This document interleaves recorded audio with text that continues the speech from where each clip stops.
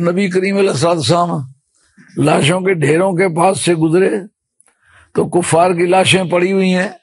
नीचे से एक मुसलमान की आवाज़ आई।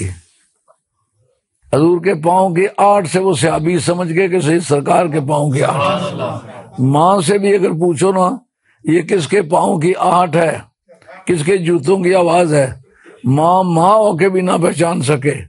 लेकिन नबी पाक का गुलाम हजूर से ऐसी मोहब्बत रखता है कि सरकार के कदम रखने की अदाओं को भी उसे उसे एहसास होता है कि सरकार के कदम आवाज़ दी, या रसुल्ला मैं फलां से अभी हूँ, जख्मी हूँ। सरकार अब ऊपर से लाशें एक तरफ़ करके सरकार उसके सराहने बैठ गए। बैठ के उसका सर गोद में रख लिया। और उस जगह हाफज शीराजी फरमाते हैं बचे नाज रफ्ताबाश जे जहान याज मंदे के बवक्त जा सपुरदन बसरश रसीद बाशी। या रसुल्ला वो कितने नाज नखरे से दुनिया से गया होगा जिसके दम तोड़ते वक्त आप सराहने आके बैठे होंगे। सेहतें लाखों मेरी बीमारी गम पे निसार।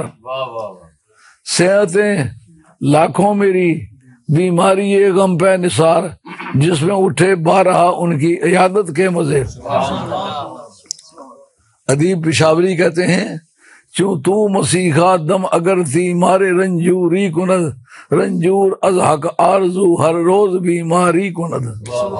तेरे जैसा ईसवी सिफात महबूब अगर मेरे सराहने आके बैठे मेरा हाल पूछ ले कि बता तेरा हाल क्या है? रोज़ाना नफिल पढ़ के रब से दुआ मांगू कि खुदाया हमेशा बीमार रख। इस सरकार की बीमार पुरसी से जो मज़ा आया है उस नशे ने मुझे बीमारी की अजियत से बेखबर कर दिया। मरने वाला मौत के वक्त भी मुसरत के साथ नबी पाक का ज़िक्र करता है। दिल न क्यों हो मुजतरब? मौत के इंतज़ार में, सुनता हूँ मुझको देखने आएँगे वो मिजार में। अमीर खुसरो दिल भी फरमाते हैं कि कशशे के इश्क दारद, न गुजारदत बदीसा। ब जनाजा करने आई, ब मिजार खाही आमद। इश्क के अंदर जो कशिश है, वो आपको यूँ ही नहीं फार फिरने देगी। अगर आप मेरे जनाजे में तशीब नहीं लाएँगे तो मेरी कब्र में तो आपको डिपार्टमेंटली आना पड़ेगा। महकमाना प्रोसीजर है कुछ आप तशीब लाएँगे।